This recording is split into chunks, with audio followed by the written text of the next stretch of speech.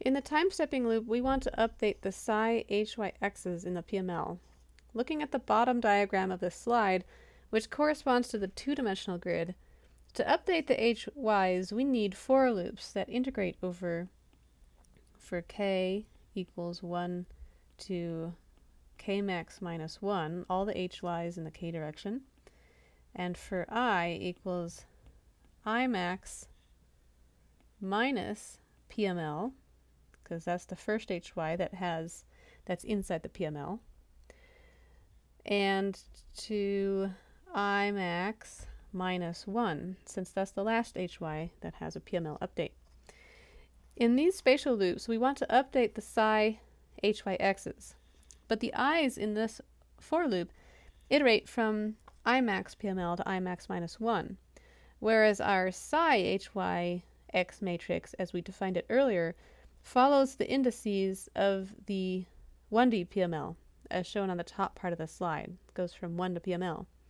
So we don't want to just write psi h y x i comma k, because this will call on i values that are outside of the range of our psi h y x matrix.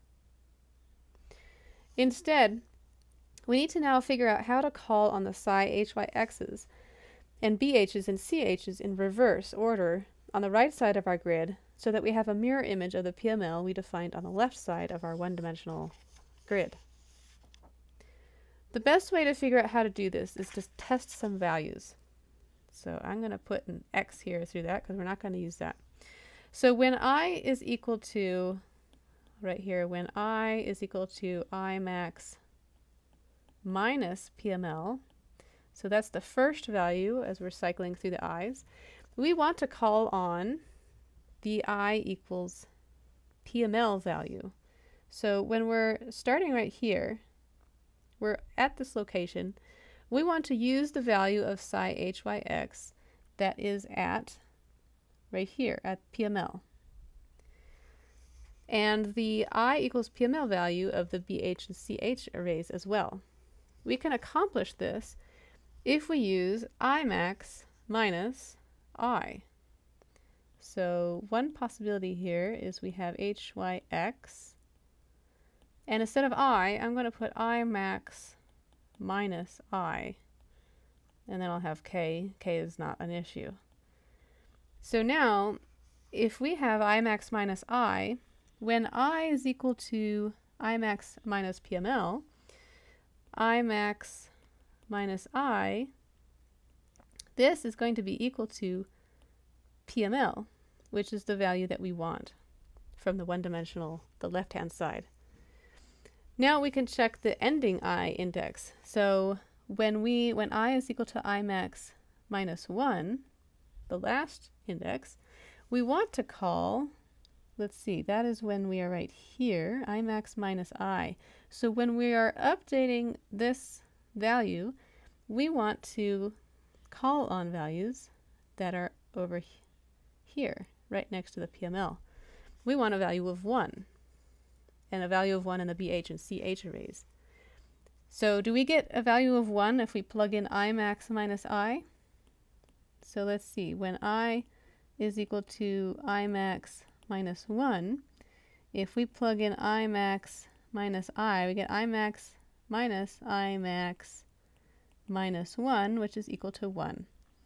So this means that we have successfully reversed and called on the correct components in this updating loop if, so right here, we would write psi hyx, instead of i comma k, we're going to have i max minus i comma k, and then we'll be able to call on the correct index in the psi array. So now we can update the psi hyx's using for k equals 1 to k max minus 1, and for i equals i max minus PML, to I max minus 1. These are the indices for the right side of the grid. And we're going to call on psi is something we have defined on the left side of our grid. So this we use i max minus i comma k. And that's equal to bh. I'm following this equation right here. We have bh. This is also defined on the left side of our grid. So we have here i max minus i. And we need to multiply this times psi hy x, the, the value that's already in our psi array, that's at the same location, so i max minus i, comma k, plus ch, that's also defined on the left side of our grid, i max minus i, times, now, now we have ez. So we want to call on the ez components that are on the right side of our grid in the PML. So we're going to use just the regular i i plus 1 comma k because these indices that we're looping through are for the right side of our grid. And this is ez i comma k. And the last thing we need to do is implement this psi in the HY updates. What's the best way to do this?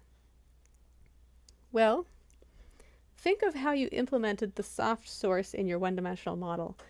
If we update the psi HYXs immediately after the regular HY update, then we are ready to just add on that extra psi term, this one right here. In the same spatial loops we use to update the psi HYXs.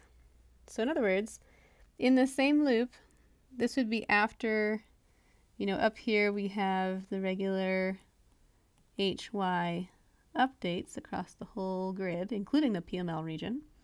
After that, just like before you implemented your soft source by tacking on an extra term, now in this for loop, we're going to tack on the extra term to our hy's. So we'd have hy i comma k, and we have i because i's are already looping through the indices on the right side of our grid. And that's going to be equal to the hy that's already there from our regular update, plus db, we have db here, multiplied times delta, that delta gets rid of the delta in the dB coefficient, times psi. So psi hyx, now remember psi is a PML a matrix that we had defined on the left side of our grid, on the size on the left side of our grid. So this is going to have I max minus I comma k. And now we can close these for loops. So this is all we need to implement to have the PML updates on the HY components in our grid. So putting all this together, this is what I had on the previous slide. And this is just rewritten nice and clean so you can see it better. This should be implemented immediately after the regular HY updates and before any E updates, since the electric fields call on magnetic fields in the update equations. Go ahead and implement both the psi EZX and the psi HYX updates in your model. When you create loops for the psi EZX updates, which we haven't done yet, we just did the HY updates, then use the one-dimensional and the two-dimensional PML diagrams with the indices labeled uh, in order to make sure you're calling on the correct indices because you won't be able to use IMAX minus i.